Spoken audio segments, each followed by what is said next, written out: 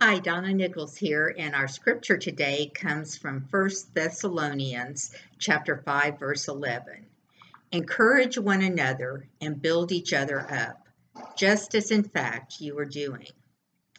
You know, loving others includes encouraging one another. And in Romans 12, 7 through 8, Paul lists encouragement among the gifts of grace. When people accomplish a common objective together, all are encouraged. Fellow believers encourage one another to grow in the grace and knowledge of our Lord and Savior, Jesus Christ. The Thessalonian Christian faced struggles and an uncertain future. Paul wrote to encourage them, reminding them of their faith and love and hope in Christ, all of which prepared them to be ready for the Lord's return.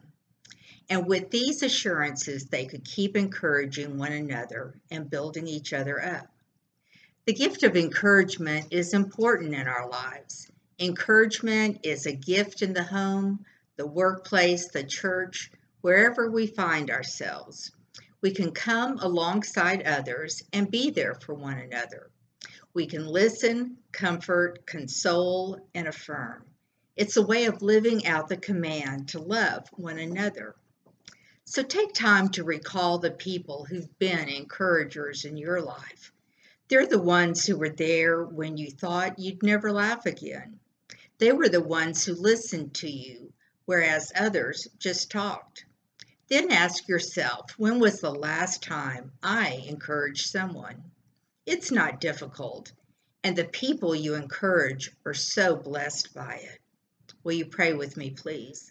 Lord Jesus, help me to recognize the struggler or the lonely, anyone who needs your encouragement of love and hope today. In your name, amen.